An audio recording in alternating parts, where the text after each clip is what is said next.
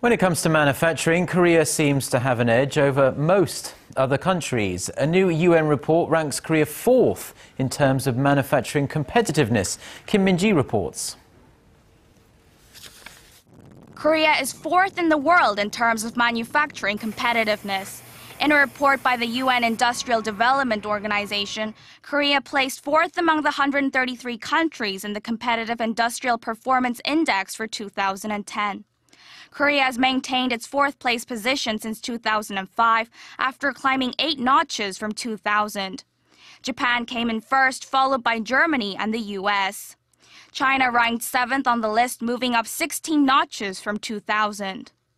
The CPI index is based on eight indicators that measure the country's manufacturing competitiveness through their production capacity, technological development, and global impact.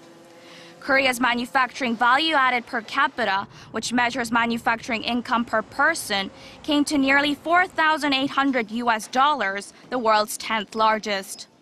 A senior economist at Dongyang Security said that Korea has achieved growth in both quality and quantity in the past two decades, adding that it will maintain its strong competitiveness even if developed nations see their economies recover.